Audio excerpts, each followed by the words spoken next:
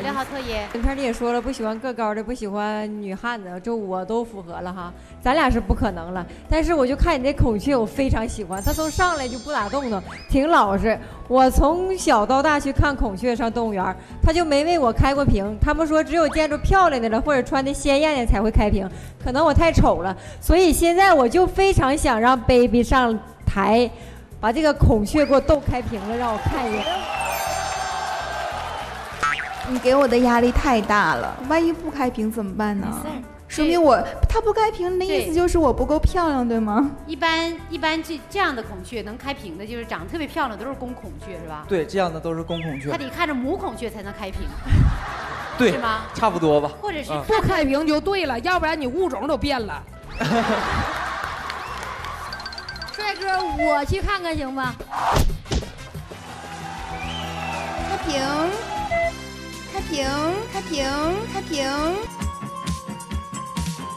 宝贝儿，你开个屏呗。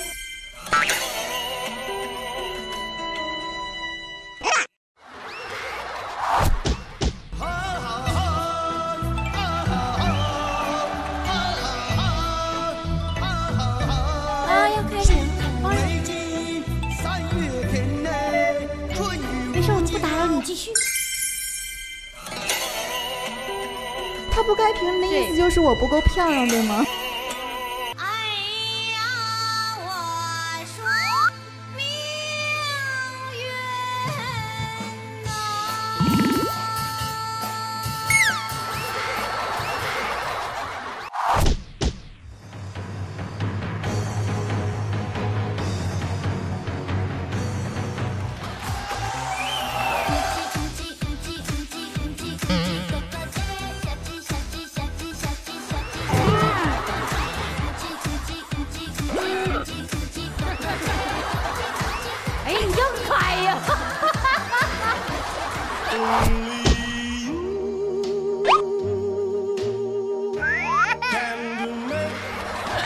就是我对于不同的东西，我都得下手。是你是硬把人掰开屏了，你知道吗？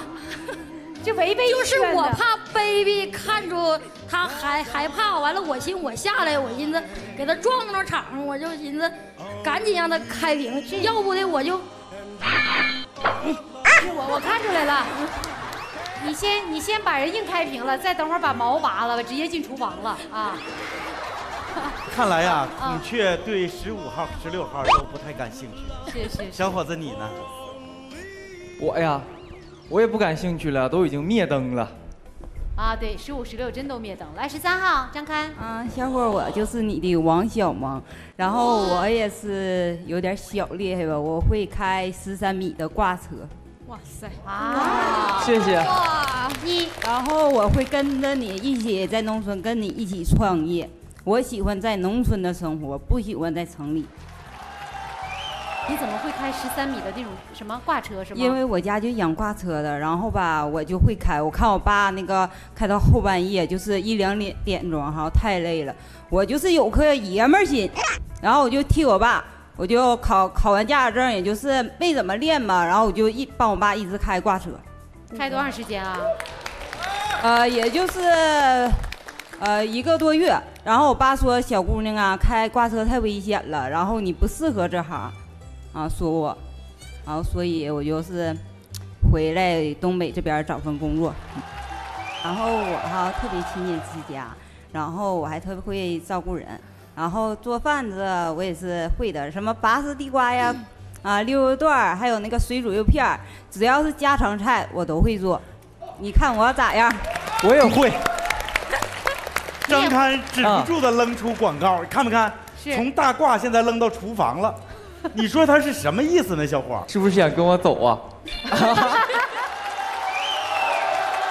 掌声有请十三号张堪，有请。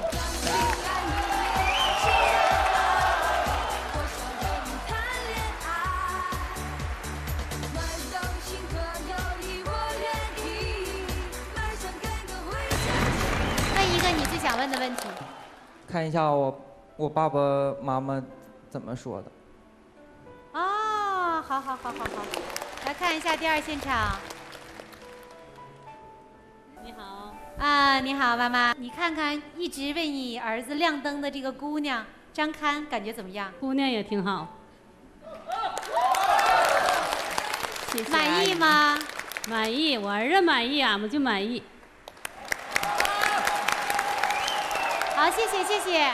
接下来五秒钟倒数计时，好吧，做出你的选择。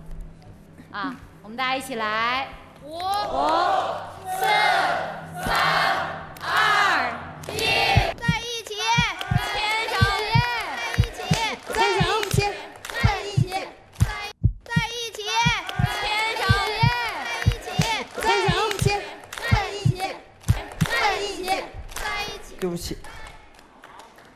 可能是还没找到，就是我看一眼就能喜欢上的那个人。特别感谢女嘉宾。没关系，也祝你找到你自己喜欢的。客气。交流的时候，我觉得那时候你感觉还不错，是吗？对，交流的时候感觉还挺好的。啊，嗯。那后来呢？差到哪儿了？就是可能差那么一点点的心动。年轻，我觉得处在这个年纪，他想找的这个感觉，也许过来人都会懂。有一点不得不说呀，咱们东北这块黑土地真的太好了，而这块黑土地现在太需要像你这个年纪有知识、有文化的青年农民，能回到家乡来做自己喜欢的事业了。所以为你的选择，加油！谢谢王哥，也为了自己的爱情加把油。谢谢王哥，好样的，缘分天使送给你。谢谢燕子姐。